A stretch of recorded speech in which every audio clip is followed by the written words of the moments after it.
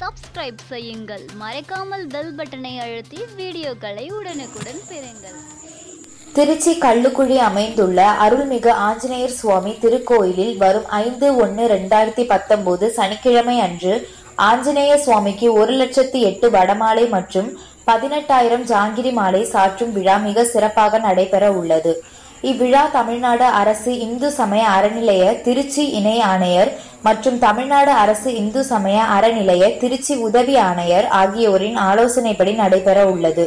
இவ்விழாவின் ஏற்பாடுகளை திருக்கோயிலின் செயல் அலுவலர் திருமதி புனிதா திருக்கோயிலில் தக்கார் திரு ரவீந்திரன் ஆய்வர் சேதுராமன் திருச்சி கிழக்கு பிரிவு திருக்கோயில் அர்ச்சகர் கஸ்தூரி ஐயங்கார் மற்றும் திருக்கோயில் பணியாளர்கள் ஆகியோர் செய்து வருகின்றனர்.